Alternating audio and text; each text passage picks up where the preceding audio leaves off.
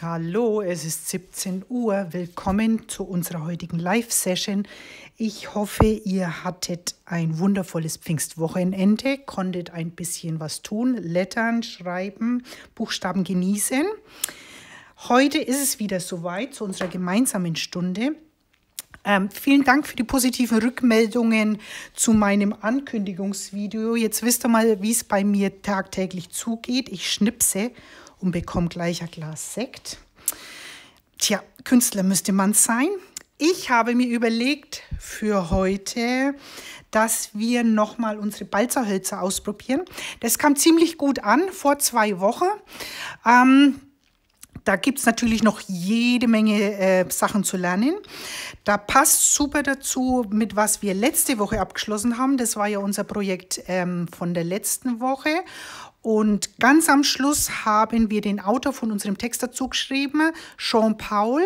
Und diese Blockschrift möchte ich heute, hier sind wir, kombinieren mit dem Balzerholz, Farbverlauf machen. Ähm, so soll das aussehen. Ich zeige euch das mal kurz. Das wird unsere Arbeit heute.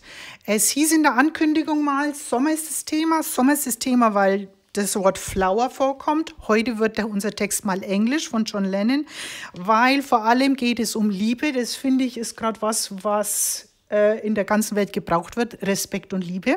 Deswegen schreiben wir das auch, auch unter dem meditativen Aspekt, ähm, weil Worte was mit uns machen, wenn wir sie schreiben. Okay, ich hoffe, ihr seid dabei. Ich zeige euch noch, wie mein Bullet Journal heute ausschaut. So habe ich das vorbereitet. Wir fangen an mit der Kalispitze beim Kalibrush und machen diese Art von Blockschrift, zeige ich euch. Und das hier ist auch noch Kalibrush.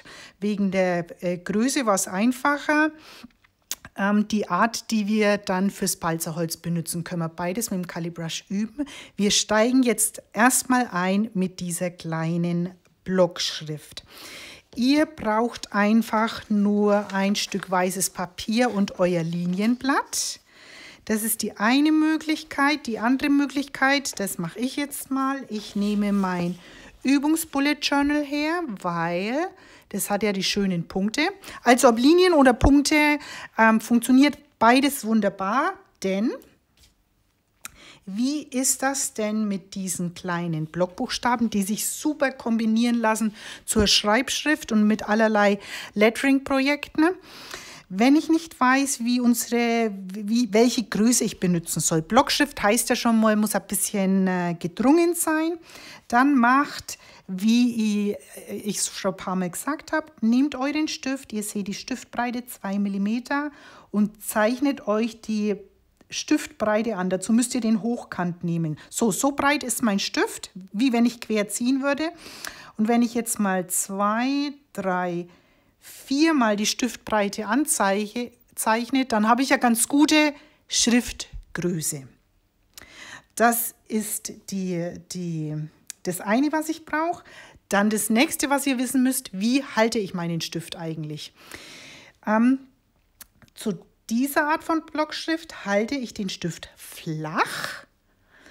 Das heißt, es ist ein Stiftwinkel von 0 Grad, weil wenn ich jetzt einen senkrechten Strich nach unten mache und mit der gleichen Stifthaltung einen Strich ähm, seitlich, dann ist es, sagt man, 0 Grad Stiftwinkel und es bedeutet, die Senkrechte ist ähm, fett und die Waagrechte ist dünn. Das ist das Prinzip. Und diesen Wechsel von dick und dünn ist genau das, was wir jetzt gerade haben wollen. Okay? Unser Text ist, wie gesagt, von John Lennon und er heißt Love is the flower you've got to let grow. Und weil wir alle zustimmen, probieren wir es gleich mal mit Love. Das ist unsere Schriftgröße. Ich setze hier gleich mal an. Ähm, L ist denkbar einfach, weil es besteht genau aus den beiden Zügen. Ihr könnt direkt auch mitmachen. Ähm, ich gehe senkrecht nach unten und gehe waagrecht. Ganz simpel. Und damit dieses L einen Hauch mehr Leben bekommt, bin ich nicht allzu streng, sondern ich gebe der Senkrechten einen leichten Twist, ganz leicht Und auch das Füßchen darf einen leichten Twist haben. Also das ist die ganze Range, damit die Schrift dann lebendig ist. Denn jetzt mache ich das O dazu und auch da nehme ich den Stift einfach flach. Das ist die eine Hälfte. Und dann, weil ich nicht schieben muss, mehr Spaß macht es, wenn ich von oben nach unten ziehe, das O. Dasselbe gilt fürs V. Und da habe ich zweimal den Stift flach. Und beim E denkbar einfach, flach, flach. Einfach die Stifthaltung immer gleich lassen. Das ist das Grundprinzip von dieser Blockschrift. Ich gehe mal in die nächste Zeile. Jetzt zoome ich einen Hauch aus. Ich kann die Buchstaben mit etwas mehr Buchstabenabstand schreiben oder sie berühren sich. Das findet ihr für euch raus, wie es euch besser gefällt. Ein Hauch größer darf es sein. Wenn ich mir nicht sicher bin, beim Üben kann ich jederzeit meine Anstriche hinmachen. Jetzt weiß ich, wie hoch meine Stiftgröße sein muss. Love haben wir schon geschrieben. Ist ist es einfach auch, also I ist nur ein senkrechter Strich. Ich mache immer gern nach rechts ein kleines Füßchen und nach links ein kleines Füßchen, hauchzart. Und das S ist nichts weiter, wie ich setze flach an. Es ist fertig oder als kleinen Abschluss Köpfchen, Füßchen, kleiner Strich senkrecht. Is the flower T denkbar einfach senkrechte, waagrechte. Und auch da, es darf ein leichtes Leben haben. Und ihr seht jetzt schon die Verwandtschaften. I ist eine Familie, T gehört dazu und H gehört auch dazu. Und beim H seht ihr auch, wenn ich jetzt das T so senkrecht mache, dann mache ich das H daneben, das geht etwas nach links raus und das rechte Beinchen lasse ich etwas nach rechts rausgehen und den Querstrich, Stifthaltung flach, mache ich etwas unterhalb der Mitte und dann setze ich das E dazu. Und auch dem gebe ich jetzt einen, leichte Bo einen leichten Bogen. Und dann geht das Füßchen leicht nach, ob, nach äh, rechts oben, Mittelstrich, Köpfchen. Köpfchen lasse ich ein bisschen nach links rausgehen. Is the flower, F, gleiche Familie, ihr seht schon, Querstrich dünn, Querstrich dünn. Das F ist wieder sehr gerade, deswegen gebe ich dem L, das danach kommt, leichtes Spiel. Ihr seht, es lehnt sich etwas ans F hin. Und dann mache ich das O dazu. Und auch beim O ist so eine kleine Spielerei vielleicht, dass es nicht geschlossen sein muss. Eine weitere, eine weitere ich zeige das mal in der Zeile, ähm, Variation wäre, dass ich das O linke Seite dick mache und den zweiten Strich dünn mache. Das ist auch diese Abfolge von dick und dünn. Okay? Dann, weil genau das gleiche mache ich nämlich beim W. W beginne ich, flacher Stift, leichter Bogen und mache den zweiten Strich, sonst wären es ja vier dicke Striche, dünn, dick, dünn. Und dann lehne ich mal das E direkt ans W hin, dünner Strich, dünner Strich, dünner Strich. Ich glaube, sowas zu machen, ähm, will die Hand vielleicht nicht so einfach. Ja, das ist was, was man lernen muss. Sieht einfach aus, aber es steckt schon sehr in uns, dass wir schöne gerade Striche machen. Deswegen gerader Strich fürs R. Und dann machen wir Stift halt mal flach fürs Köpfchen und dann können wir auch variieren, weil wenn ich den Stift normal nehmen würde, wäre hier auch ein dicker Strich. Ich gehe auf die Spitze vom Calibrush und mache dünnes Füßchen. Okay, Flower, you've got to let grow. Ich gehe mal in die nächste Zeile. Wenn ich immer noch ein bisschen unsicher bin, wir üben ja. Eins, zwei, drei, vier. Und das ist wirklich gut, auch als Einschreibübung, bevor ihr auf das schöne Papier geht, ganz gemütlich, Übungsblatt oder eben dieses Übungsbuch und da kann ich mich aufwärmen. You've got to grow Y, Bogen nach rechts, dann gehe ich wieder auf die Spitze, dick und dünn und den Fuß vom Y gerade Strich nach unten. Dann machen wir das O, machen wir es mal, nach links dick. Dann könnt ihr absetzen und dann gehe ich auf die Spitze vom Calibrush und ziehe dünn nach oben. Liebe Grüße aus Bonn, vielen Dank. Liebe Grüße aus der Nähe von Bayreuth. So, wir brauchen ein U. Dick, selbes Prinzip wie beim Y-Grad und ich gehe dünn hoch. Dann machen wir einen dünnen Strich für den Apostroph. V können wir schon. V beziehungsweise, ich schwebe noch mal hier hoch. V haben wir hier ähm, zweimal dick gemacht und jetzt machen wir dick und dünn. Hast du nicht letztes Mal fünf Kästchen für die Höhe gemacht? Jo, fünf geht auch. Mir geht es heute um besonders blockig. Je niedriger, je weniger Stiftbreiten ihr das macht, desto blockiger wird es, das, die Schrift. Ich zeige das gleich hier oben nochmal, passt auf. Also vier Stifthöhen sind so, eine dazu sind zwei Millimeter mehr. Ja, das heißt, bei 4 ist mein L so und bei 5 ist es einfach schon so groß. Okay, das, sind, das ist die Spielwiese. Äh, ihr könnt ruhig auch mal ausprobieren mit nur drei Stiftbreiten. Da wird es dann wirklich klein. Das ist bei einem Buchstaben wie L noch kein Problem. Aber wenn ich dann da S reinkriegen muss, wisst ihr, seht ihr? Wird es hier unten schon schwierig. Da muss ich schauen, dass ich hier schön einbiege und solche Sachen. Das ist die Spielwiese, die ihr habt. Okay?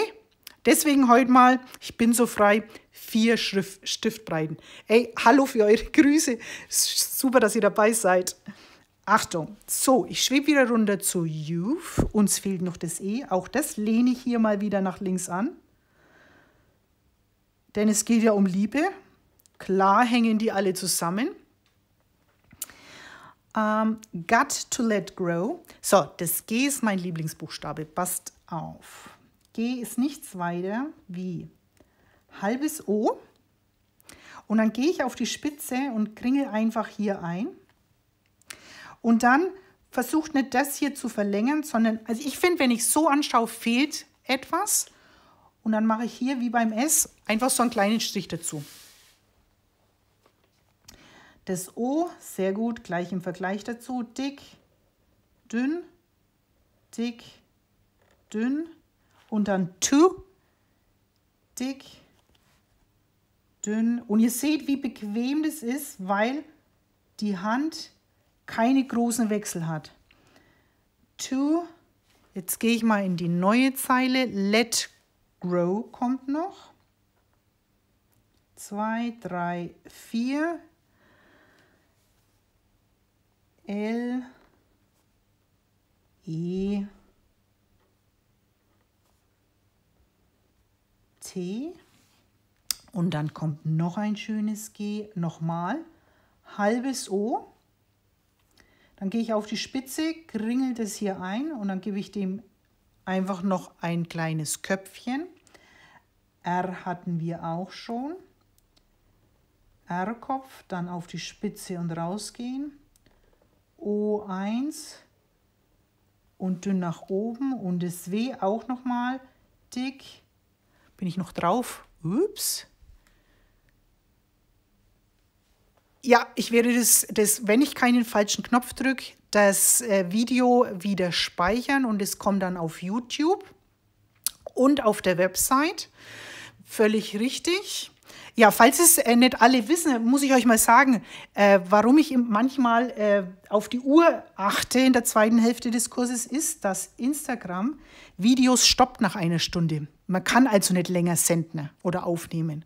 Das ist der einzige Grund und es gibt so viel, was ich euch zeigen will.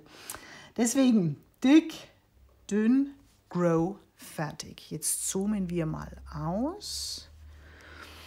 Love is the flower you've got to let Grow, okay?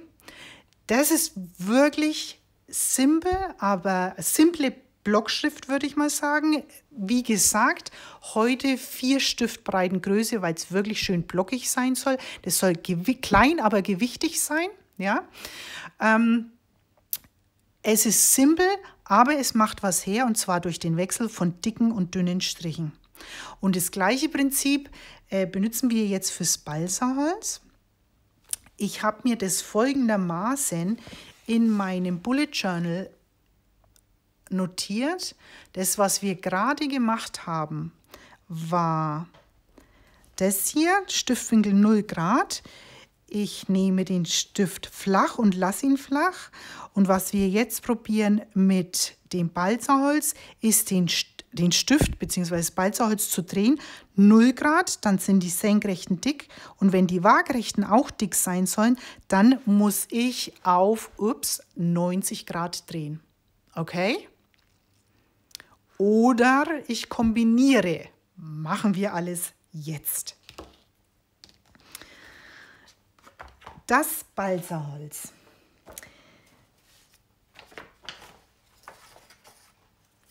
Kommt in zwei Größen in dem Set. Jetzt zoome ich etwas aus. Ich nehme jetzt mal das schmälere. Das ist ein ganz federleichtes Hölzchen. Ihr seht schon, dass es viel benutzt, dass die, das quasi aus Kapillaren besteht, die besonders viel ähm, Feuchtigkeit aufnehmen. Das Holz saugt praktisch die, die Feuchtigkeit bzw. die Farbe, Tinte nach oben. Tinte ist besonders wichtig. Ähm, ihr solltet keine dicken Farben nehmen, also wie Acrylfarbe oder sowas, beziehungsweise wasserfeste Farben, die würden diese Kapillare ähm, verstopfen. Das ist wichtig. Okay. Ich benutze als Papier jetzt ein Zeichenpapier. Das ist die Hausmarke vom Gerstecker. Wichtig für euch, die wichtige Info für das Papier, anstatt dem Layout-Papier, das ja nur so 70, 75 Gramm hat, habe ich jetzt ein Papier mit 120 Gramm. Also ein Aquarellpapier würde genauso gehen. Okay. Äh, Nee, das kann man nicht mit dem Calibrush machen. Das ist jetzt was, das ist ein ganz anderes Schreibgerät. Wenn du sowas noch nicht hast, dann einfach zuschauen und genießen. Das ist eine ganz neue Technik. Sehen und staunen, okay? Was wir als zweites dazu brauchen, ist Tinte zeige ich das mal auf diesem Extrablatt. Der Vorteil von dem schmäleren Balzerholz ist, dass er direkt ins äh, Glas geht. Wenn ich das breite Balzerholz nehmen würde, dann würde ich einen Pinsel zur Hilfe nehmen. Okay? Balzerhölzchen tauche ich einfach. Ich mache immer mit meinen Balzerhölzen folgendes. Ich nehme eine Seite für die warmen Farbtöne, eine Seite für die kalten Farbtöne dann vermischt sich's nicht so, obwohl man die Balzerhölzer sieht jetzt gerade nicht so aus, aber sehr gut wieder sauber bekommt. Also dieses hier sieht nicht so aus, aber es ist sauber. Ich tauche, das werden wir gleich sehen, wenn ich es jetzt ausprobiere, womöglich habe ich euch angeschwindelt, das sehen wir jetzt, aber das gibt meistens aufregende Farbkombinationen. Okay, im Prinzip, wenn ich es jetzt so hinhalte, ist es nichts anderes, wie wenn ich, Moment, meinen äh, Calibrush so halte. Spitze ist das gleiche, es ist nur ein breiteres Schreibgerät. Okay? Also die Möglichkeit wäre natürlich, wenn ihr die Buchstabenformen jetzt üben wollt, dann nehmt die Kalispitze vom Calibrush, aber ihr müsst natürlich kleiner schreiben, okay?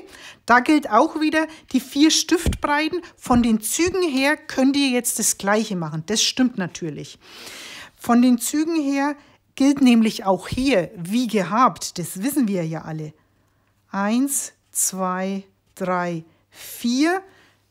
Das ist das Balzerholz und im Vergleich dazu, wo ich mit dem, mit dem Calibrush bin, ist eins, zwei, drei, vier. Und der Größenkontrast, das ist das, was wir für heute wollen. Jetzt mache ich hier mal ein L hin und ein O. Und dann machen wir im Vergleich mit dem, mit dem Balzerholz das gleiche. Ich nehme es flach und ich rutsche etwas rüber und ich gebe dem eine leichte Bewegung. Und jetzt will ich einen fetten Buchstaben haben. Das ist, was ich meine. Jetzt wechsle ich auf senkrecht und dann habe ich hier auch einen fetten Fuß, okay? Dann gleich mal etwas knifflig ist, wenn ich jetzt ein O machen will, das durchgängig fett ist. Das probieren wir jetzt mal aus. Es gibt Alternativen dazu. Jetzt habe ich schon, habt ihr schon gesehen, ich drehe mein Blatt etwas, gehe hoch. Wenn es hier oben fett sein soll, muss ich ja drehen auf 90 Grad. Und ihr müsst auf die Innenfläche vom O schauen. Da gibt es jetzt noch nichts zu sehen. Ich ziehe rund, übt nicht zu viel Druck aus, aber jetzt schaue ich schon auf die Innenfläche. Jetzt gehe ich so weit rum, wie es meine Hand mitmacht. Jetzt setze ich ab, sonst bricht mir das Handgelenk. Deswegen ist es auch so aufregend. Jetzt gehe ich da oben hin, drehe mein Blatt etwas und ich schaue jetzt hier auf die Innenfläche. Ich gehe in meine Fläche rein und ziehe hier raus und schaue in die Innenfläche, dass das rund wird, rund wird, rund wird, rund wird, rund wird. Jetzt drehe ich etwas und schließe hier. Okay? Den Fehler, das wird nie perfekt, aber dieses unperfekte, raue, das ist genau das, was wir haben wollen. Okay? Äh, den Fehler, den man macht, gerade beim O-Ziehen, wenn ihr an die Außenkontur hinschaut, dann wisst ihr nicht, wo ihr hingehen müsst, weil ihr manchmal unter der Hand seid. Wenn ihr hier reinschaut dann, und euch konzentriert, dass das rund wird, dann wird es eher was. Okay? Oder aber, das ist, was ich euch im Bullet Journal schon gezeigt habe, wir kombinieren flach und ich drehe nicht und habe auch ein fettes O. Okay, das ist die Idee dahinter. Und das könnt ihr, wer jetzt Calibrush hat, jetzt vergrößere ich mal, aber ihr seht schon, das ist ein massiver äh, Größenkontrast und das ist super, okay? Wenn ihr im Vergleich dazu, ups, ich gehe nach oben, senkrecht drehen in die Waagrechte, dann, ihr könnt das Blatt etwas drehen, dann fällt es leichter. Ich drehe den Calibrush immer mit dem Kreis mit, dann setze ich ab, drehe mein Blatt zurück, mache das in drei Zügen. Müsst immer schauen, dass das schön aufsitzt und dann drehe ich nochmal und schließe hier. Okay. Und jetzt mache ich einmal, zweimal fettes V und fürs E gilt dasselbe. Auch das E kann ich wieder ans V lehnen. Eins und dann ganz knapp über dem ersten Querstrich kommt schon der zweite, weil es soll ja fett aussehen. Okay? So, zoomen wir etwas aus für unsere Riesenbuchstaben. Da sieht man nochmal schön die Größenverhältnisse. Okay, die zweite Sache, die wir uns nochmal genau anschauen wollen, ist der Farbverlauf. Ich zeige euch das nochmal. Das ist meine Idee für euch. Ihr seht, dass ähm, links das Balzerholz rot ist oder der Strich rot ist, rechts orange. Da, das zeige ich euch jetzt, wie man das macht. Ähm, das Orange und das Rot ist eine besonders schöne Kombination. Deswegen benutze ich das. Es würde aber auch mit anderen Farben gehen. Das ist was, was ihr ausprobieren könnt. Ich zeige euch das jetzt mal mit den Farben in der Kamera. Ich mache das immer so, dass ich zwei Pinsel direkt reinstecke, für jede Farbe einen Pinsel. Ich habe, jetzt seht ihr schon, ich habe links einen Flachpinsel, äh, rechts einen Spitzpinsel. Das sind beides abgenudelte Schriftpinsel aus meinem Vorrat. Also Pinsel werden ganz ähm, selten nur weggeschmissen, wenn ich sie zum Schreiben nicht mehr nehmen kann. Dann immer noch zum Farben mischen oder jetzt für hier was, weil dann kann ich die hier reinstecken und stecken lassen. Okay? So, jetzt nehme ich mal ein frisches Balzerhölzchen. Und das Prinzip ist folgendes. Ich nehme den Pinsel raus, ich streiche ihn kurz ab. Dann nehme ich das Balzerhölzchen hochkant. Moment, wir rutschen alles noch ein bisschen, dass wir gut im Bild sind. Und dann auf, der, auf dem halben Balzerholz streife ich jetzt das Orange ab. Und da könnt ihr seitlich schon sehen, seht ihr, wie das nach oben zieht? Ich brauche nicht riesig viel Farbe. Das zieht nach innen weg. Wegen Tropfen braucht ihr erstmal keine Angst haben. Das gleiche mache ich mit dem Rot. Seht ihr schon, wie die sich auch miteinander mischen? Das Rot ist immer kräftigere Farbe wie das Orange. Und dann gehe ich, da zieht es nach hinten. Und dann gehe ich runter. Jetzt machen wir hier neben dem kleinen Love. Ich nehme flach und dann ziehe ich. Und dann habe ich so einen Farbverlauf.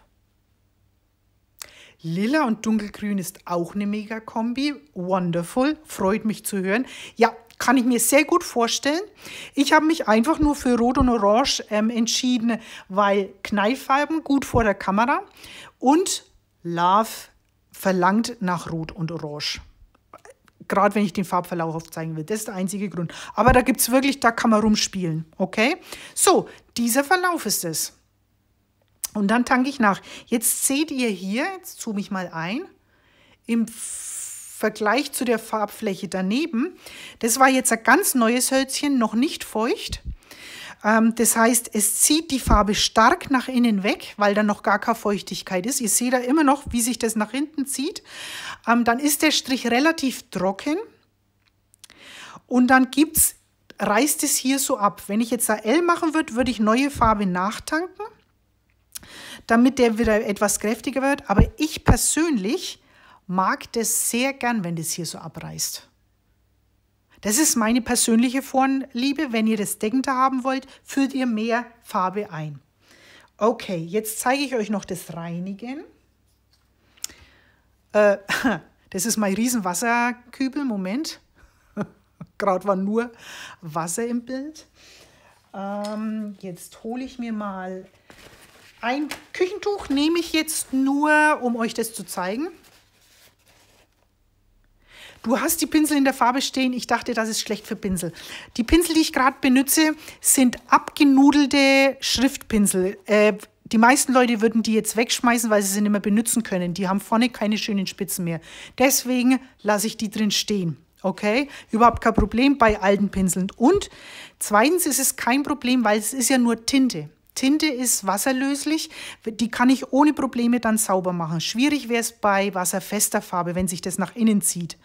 Na? Aber mit Tinte ist es eh kein Problem. Und wie gesagt, es sind alte Pinsel. Und es ist praktisch. Das ist natürlich der wichtigste Grund. Es ist praktisch, ich muss nicht ständig hin und her händeln. Und es ist auch praktisch, dass ich zwei Pinsel habe für je, also für jede Farbe einen Pinsel und nicht auswaschen und wechseln muss. Ich benutze jetzt gerade ähm, Küchentuch, weil ich euch das zeigen will, wie, wie sich das reinigt. Ansonsten würde ich einfach einen alten Lappen nehmen, aber der ist halt jetzt bunt und hier sieht man es besser. Ich gehe ins Wasser rein und das Balzerholz macht jetzt das, was es machen soll. Ähm, seht ihr, die Farbe geht etwas raus, aber die Farbe und das Wasser zieht sich auch ins Balzerhölzchen. Das will ich nicht. Ich will das rausnehmen und das sieht man besonders gut jetzt mit, mit dem Küchentuch, wie schön ich das wieder rausnehmen kann. Wenn ich jetzt die Farben weiter benutze, so wie wir jetzt, dann muss ich nicht auswaschen, aber am Ende des Arbeitstages. Und äh, das wird sich nicht mehr ganz entfärben, weil das Holz an sich, die Fasern färben sich ja auch. Aber wenn das immer heller wird, ihr seht schon, dann ist es so gut wie sauber. Ja? Jetzt machen wir einmal noch ins Wasser rein. Jetzt versuche ich es vor allem wieder trocken zu bringen. Und ihr seht, so wird es Stück für Stück sauber. Okay, jetzt ist es schön trocken wieder, jetzt können wir es weiter benutzen. Das ist alles so eine Technik, die zum Experimentieren auch einlädt. Okay, so, jetzt zeige ich euch nochmal die Buchstaben. Also, wie gesagt, ich fülle ein, eine Seite orange, dann gehe ich hier, das ist einfach praktisch, wenn ich zwei Pinsel habe und hier nicht rumtun muss und es beiseite legen muss. Ich zoome etwas ein. Okidoki. Moment, jetzt stelle ich mal meine Farben zur Seite, damit ich euch hier das besser zeigen kann. Arbeitsblatt schaut es natürlich schon wieder aus. Also, eins, ich tange nach. Einfach nochmal mit dem Pinsel drüber streifen, gehe zurück und dann gehe ich runter, mache den Querstrich. Jetzt sieht man, dass das Hölzchen feucht war. Es nimmt vorne mehr Farbe auf. Eins, zwei. Wenn ich das jetzt feststelle, dann würde ich, wenn wir jetzt aufs gute Papier gehen, versuchen, den ersten auch schon mit mehr Farbe zu machen. Okay? Und dann noch einmal und also ich streife mal ab. Jetzt setze ich gerade das Rot nur noch mal dazu. Und jetzt würde hier das V kommen. Habe ich jetzt im einen Zug gemacht, das heißt links ist mehr Farbe, links ist, äh, rechts ist etwas weniger Farbe. Ich mag das, mag das gern, wenn das ein bisschen Spiel hat. Nochmal für alle. Moment. Okay. Orange. Und ihr seht dem Balzerhölzchen an, wie es immer weiter die Farbe nach innen zieht. Und Rot nochmal dazugeben. Wenn ihr denkt, das hat zu viel Farbe aufgesogen, dann könnt ihr auch hergehen, wenn ihr es nicht so denkend haben wollt, tupft es einmal kurz ab und geht dann hin. Ich mache jetzt es eh einfach mal drunter, das ist ja nur unser Probeblatt. Seht ihr, jetzt habe ich weniger Farbe und jetzt zeige ich euch mal, wenn ich jetzt weiterziehe, heller, heller, heller. Also oben, das würde mir jetzt nicht so gut gefallen. Das ist der Grund, warum ich dann eigentlich bei jedem Zug Farbe nachhole, umso gleichmäßiger wird es. Okay? Genug geübt, lasst uns auf unser gutes Papier gehen. Nächstes Blatt, ich zeige euch nochmal unseren Plan. Wir schreiben Love jetzt in einem Block. L-O oben, V-E unten. Und wir fangen wohlgemut an. Ich nehme auf einmal Rot, zweite Farbe. Und dann habe ich mir vorbereitet, Tipp für euch, ich habe hier mir mal meine vier Balzerholzbreiten auf ein extra Blättchen vorgezeichnet. Das lege ich hier hin, weil oft verschätzt man sich dann, wenn man aufs weiße Papier geht und dann weiß ich, das L darf so groß sein. Okay? Und dann tanke ich nach, zweiter Strich, orange und rot. Und dann gehe ich rechts unten hin. Ich nehme das Balzerhölzchen hochkant, nicht vergessen, weil wir wollen keinen schlanken Fuß, wir wollen einen fetten Fuß. Dann fürs O einmal. Und gerade wenn ich jetzt auch diesen Farbverlauf mache, dann mache ich das O in zwei flachen Zügen und versuche nicht dieses Kreisrunde zu machen. Das wäre Riesenaufstand. Okay, also passt auf. Und es schaut sehr schön fett zum anderen aus. Jetzt mache ich mal in einem Zug, weil hier ist es etwas leichter, mein L. Das will ich jetzt hier auch haben. Perfekt. Mein O. Und ich schließe das O auch nicht. Ich mag das, wenn das hier ein bisschen Spiel hat. Okay? So, wenn ich meine Schablone habe, dann kann ich die auch hier wieder hinlegen, damit ich weiß, wie groß das V sein muss. Und dann tauche ich wieder in beide Farben ein. Jetzt hänge ich mir das V, also ich gehe auf keinen Fall flach hier ans L hin, das wird nicht gut ausschauen. Ich gehe leicht versetzt, nehme das Balzerholz etwas, damit es nur mit einer Spitze ans L stößt und mit einem leichten Schwung einmal. Jetzt bin ich mutig, mache den zweiten Zug ohne nachzuholen und ich gehe runter bis auf den Stamm. Ja, okay. Seht ihr jetzt, wie dieser Strich optisch leichter ist? Jetzt hole ich auf jeden Fall Farbe nach, weil hier will ich einen schönen farbigen Strich haben. Also einen kräftig farbigen Strich, sagen wir mal so. Okidoki. Ich hole Farbe nach. So, jetzt lehne ich mich ans V hin, aber auch da seht ihr, das berührt sich hier nur ganz zart. Hier gerade mal nicht, aber es ist eng dran. Und das E lehne ich jetzt auch wieder mit dem Rücken ans V. Eins.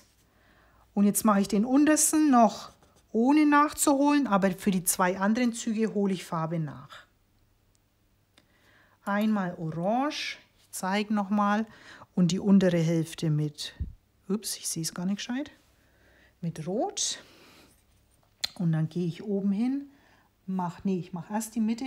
Ich mache immer zuerst die Mitte, weil manchmal macht man den oberen nämlich dann zu niedrig und dann kommt man mit dem mittleren nicht hin. Ich gehe nahe an den Fuß hin und jetzt weiß ich, der Abstand zum oberen Zug muss hier ungefähr sein. Dann gehe ich nach links raus und mache das Köpfchen dazu. Und schon ist mein Love fertig. Jetzt lege ich, ich zeige es nochmal hier, warte, das gute Blatt wegnehmen, mein Wasserbecher. Ich lege das dann manchmal einfach ins Wasser rein. Und ihr seht schon, wie die Farbe aus dem Holz rausgeht und gleichzeitig zieht aber das Balzerholz auch wieder Farbe an. Und dann gehe ich hin und mit einem alten Geschirrtuch mache ich mein Balzerhölzchen sauber. Wenn ihr das sauber machen vergesst vor lauter Eifer, ist es auch nicht schlimm. Da färbt sich das Holz ein bisschen stärker, aber ihr könnt die Tinte ja immer wieder anlösen, weil Tinte nicht wasserfest ist. Wieso muss man so oft nachholen? Ähm, Probiert es mal aus. Die Sache ist die, die Farbe wandert, wandert, wandert, wandert und ihr könnt nicht auf die Oberfläche massig Farbe aufbringen, das würde tropfen. Sie zieht es ja weg. Und für einen relativ langen Zug von vier Breiten zieht ihr lange und es lässt nach und dann gibt es nicht so viel ab, dass ihr nochmal einen deckenden Zug habt. Das ist das Grundprinzip von Feder und Tinte. Also als Kalligraph ist es für mich überhaupt kein Problem. Das mag für den einen oder anderen von euch ungewohnt sein. Aber der Rhythmus von Farbe ähm, immer wieder nachholen, äh, der geht euch in, in, in, äh, ins Blut über. Also das ist überhaupt kein Problem. Jetzt zeige ich euch nochmal unseren Plan, unser Projekt. Ich habe hier mein liebes Dunkelrot dazu kombiniert und dann brauchen wir das Linienblatt. Wo habe ich es denn? Und ich kann euch berichten, zu eurer Beruhigung, durch 120 Gramm Papier sieht man unser Linienblatt durch. Das ist kein Problem. Okay. Also nehme ich her und jetzt seht ihr, ich zeige es euch nochmal, wir haben, dass das so einen, einen guten Schriftblock miteinander gibt. Ähm, passt der Text super, denn is the flower drei Worte, you've got to, let grow und dann machen wir hier noch eine Raute und John Lennon drunter. Okay. Hier habe ich mein Love. Ich mache schön mein Linienblatt drunter. Und falls ihr euch wundert, warum ich hier meinen ganzen Stapel Blätter habe, ähm, das macht einen, weicheren Untergrund. Ich habe hier ja eh schon das schwarze Papier, aber ich fühle mich wohler, wenn ich hier ähm, mehr Papier drunter habe. Okay? So, jetzt zoome ich etwas ein. Und wenn ihr euer Love fertig gemacht habt, dann folgt mir jetzt einfach. Ähm, Kali-Spitze. Und zwar, passt auf, Ich zeige euch jetzt nochmal an, das ist ja die Schablone vom, vom Calibrush. Jetzt mache ich hier mal ans Eck meine vier Calibrush-Breiten. Eins, zwei, drei, vier. Und auch da, wenn ich unsicher bin, lege ich mir das einfach hin. Ich fange jetzt Linienblatt richtig schön aus und dann sehe ich meine Schriftgröße, weil es ist verwirrend, wenn ihr das jetzt habt, ihr wisst gar nicht, wie ihr anfangen sollt, okay? Deswegen diese kleine Hilfssache. Ich lege mir die Schablone hin, IS ist so. Links ein kleines Köpfchen, rechts ein kleines Köpfchen. Das war's schon. Stift flach fürs S. Bögelchen, Bögelchen, kleines Köpfchen, kleines Füßchen. Ist the. Einmal flach.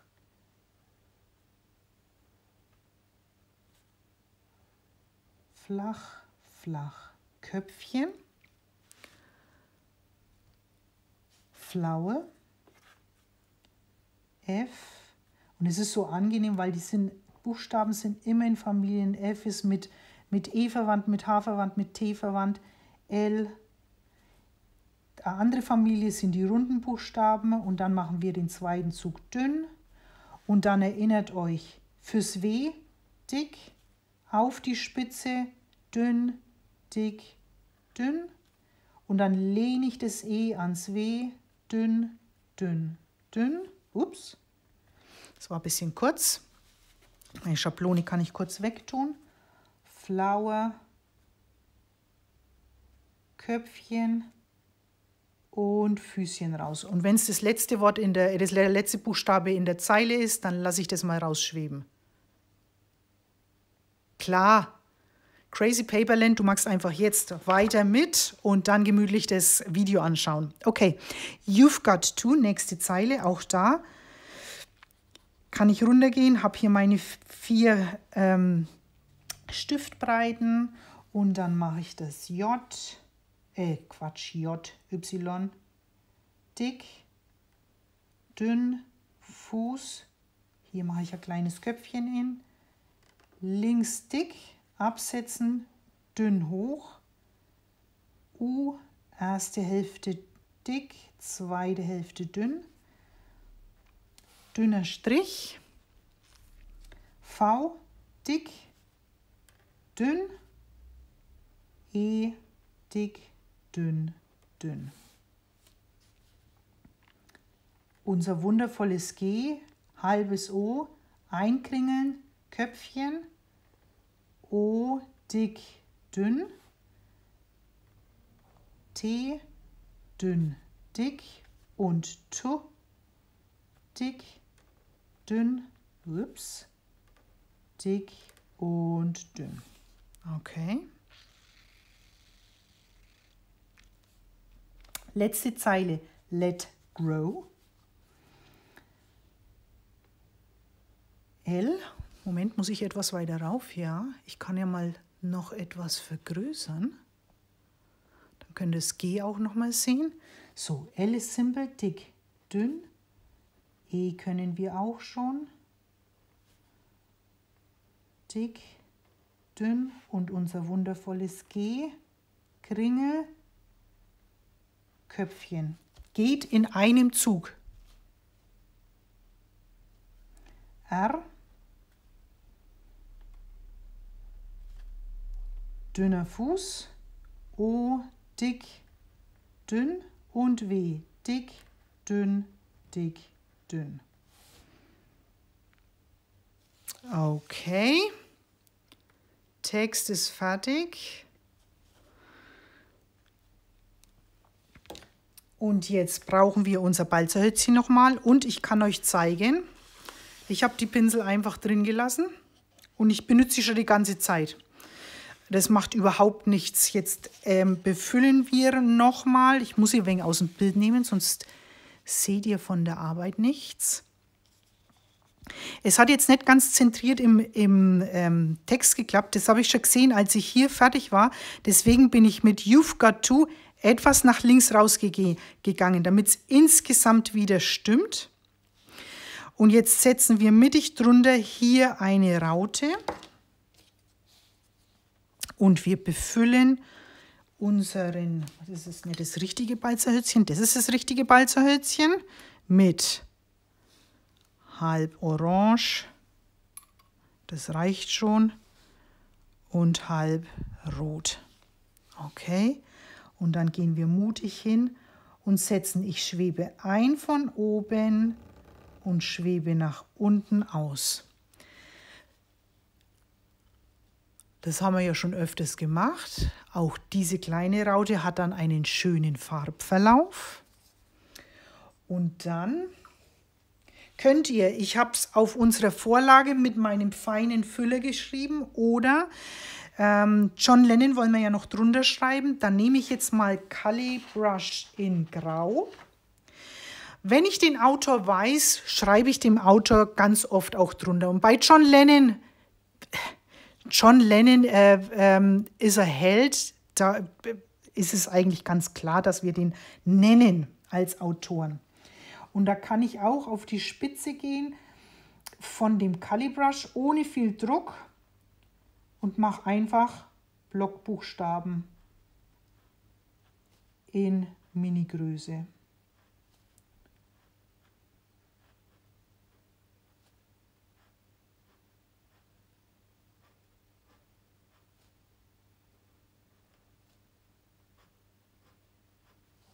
So.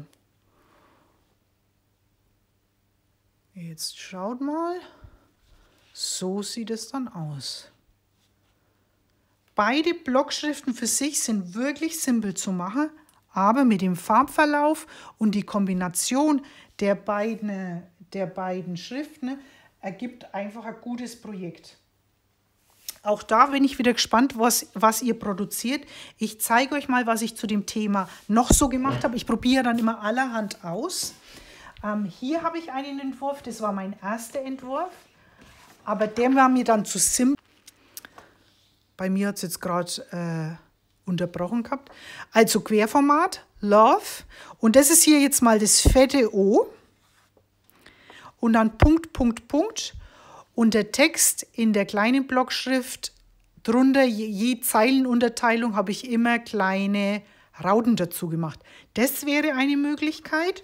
Und dann weiß ich genau, dass es einige von euch in den Fingern juckt. Ähm, ich bin immer der Meinung, Love ist hier erstens mal das wichtige Wort. Das will ich groß, fett und farbig haben. Aber ich weiß, dass es einige von euch juckt in den Fingern, wenn ihr lest Is the Flower, ähm, in irgendeiner Form Blumen hinzumachen. Deshalb will ich nicht so sein. Schaut, welche Idee ich noch gehabt habe. Love mit Blüte und ich sehe gerade, wir haben noch fünf Minuten Zeit. Deswegen lasst uns das mal schreiben. Das ist jetzt ein Farbverlauf von Pink und Rot. Das hat mir auch gut gefallen. Deswegen lasst uns das ausprobieren. Ich nehme mal das Pink dazu. Jetzt muss ich meinen Pinsel kurz auswaschen. Und dann nehme ich mal, ich wechsle mal das Papier, was ich hier noch im Angebot habe. Ups, wo habe ich es? Hier. Ist ein Aquarellpapier. Das Problem ist, kann euch jetzt nur schlecht den Unterschied zeigen. Mal schauen, ob man, ob man das, hm, vermutlich nicht. Der Unterschied ist, nee, im Streiflicht, das Aquarellpapier ist etwas schwerer und etwas rauer. Man sieht es vielleicht im Zug, sieht man es hier auf der Farbe. Nee, nicht wirklich. Aber Aquarellpapier ist ein guter Tipp, wer sowas daheim hat. Ja? Der andere wichtige Tipp ist, ein etwas dickeres Papier, wenn ihr, und ihr wisst es ja jetzt, mit viel Farbe ähm, und dem Balzerholz arbeitet. Okay? So, jetzt muss ich mal schauen, ob ich das hier überhaupt hochformat, das ist immer besser für, wenn ich es euch zeige.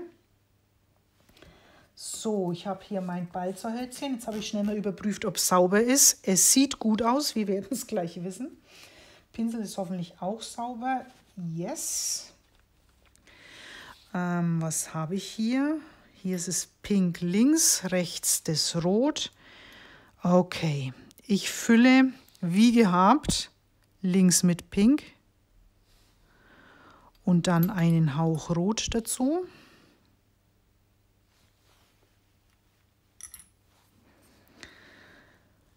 Und dann L. Jetzt tanke ich direkt nochmal nach, weil ich finde es jetzt fast ein bisschen blass.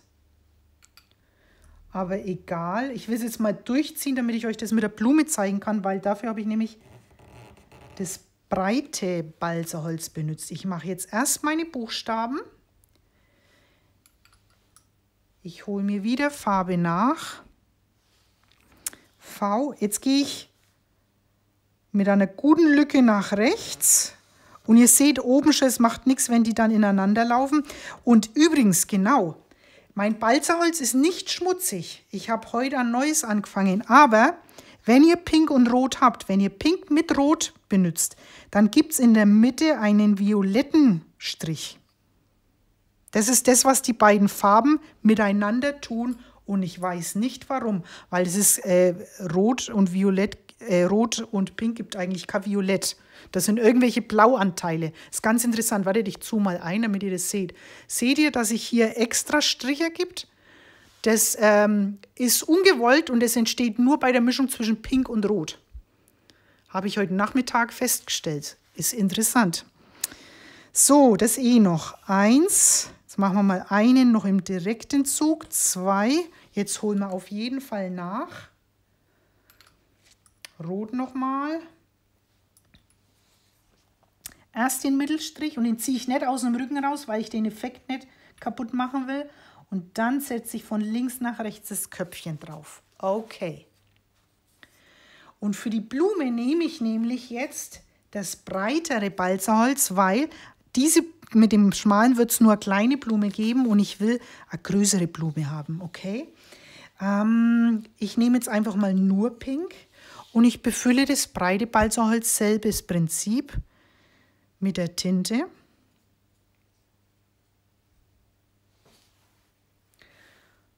Pinsel zurück, jetzt hat es hier schon getropft. Und dann nehme ich das Balzerhölzchen und ich visiere hier die Mitte an. Und dann gehe ich, kann ich erstmal mit dem rechten, bin ich eigentlich gut im Bild? Ja, mit, dem, mit der rechten Spitze gehe ich mal hier in den Mittelpunkt und dann gehe ich Schritt für Schritt und manchmal ziehe ich ein bisschen und dann drücke ich nur und dann ziehe ich und dann drücke ich und wenn mir der Arm abknickt, setze ich kurz mal ab und dann seht ihr, es ist hier wie ein Fächer. Ich hole mir nochmal Farbe nach und dann ist es wichtig, dass ihr hier in der Mitte wieder ansetzt. Ziemlich genau. Ich drehe jetzt mal das Blatt. Ihr könntet jetzt das Blatt um 180 Grad drehen, aber es geht so auch. Schön mit der linken Spitze in der Mitte bleiben. Und jetzt gehe ich mal mit dem Arm ein bisschen rum und gehe hier noch runter. Und fertig ist die Blume. Das passt natürlich gut, wenn der Text ist, Love is the flower you've got to let grow. Okay? Das ist klar. Von daher passt es sehr gut. Und drunter wieder der Text mit den kleinen Blockbuchstaben. Das wäre mein Tipp für euch. Wir müssen aufhören, aber ihr seht schon, ich habe eure Spielwiese erweitert um zwei Alphabete, um ein neues Werkzeug mit dem Balzholz. Es gibt jede Menge zu tun. Ähm, ich bin wieder gespannt, was von euch auftauchen wird auf Instagram. Bitte postet wieder eure ähm, Arbeiten unter Hashtag Calibrush, würde ich mal sagen, weil wir ja Calibrush benutzt haben. Wir sind schon gespannt, mein liebes Team bei Online und ich, was ihr so produziert. Wir treffen uns nächste Woche wieder am 12. Juni und ich habe mir was überlegt für euch, nämlich, wo ist es? Wir machen, was ich nenne, ein komplexes Design. Ich zeige euch ganz kurz was. Das ist noch nicht das Design für nächsten Freitag, sondern, jetzt zoome ich ein bisschen aus, komplexes Design heißt, äh, was mit einem Kreis, da wäre Zirkel oder eine Tasse oder ein Glas ganz gut, mit ähm, Banner ähm, und mit gezeichneten Buchstaben haben wir bis jetzt noch nicht gemacht. Hallo, viele Grüße aus dem Süden. ähm, sowas will ich machen. Das ist das Originaldesign für eine Kundenarbeit, die ich dieses Jahr auf eine riesige Leinwand gemacht habe.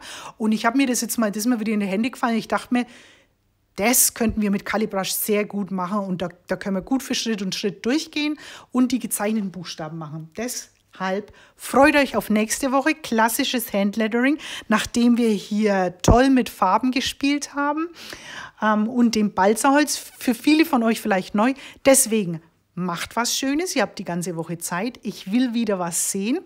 Ähm, ich freue mich schon und ich hoffe, ihr seid nächste Woche wieder dabei.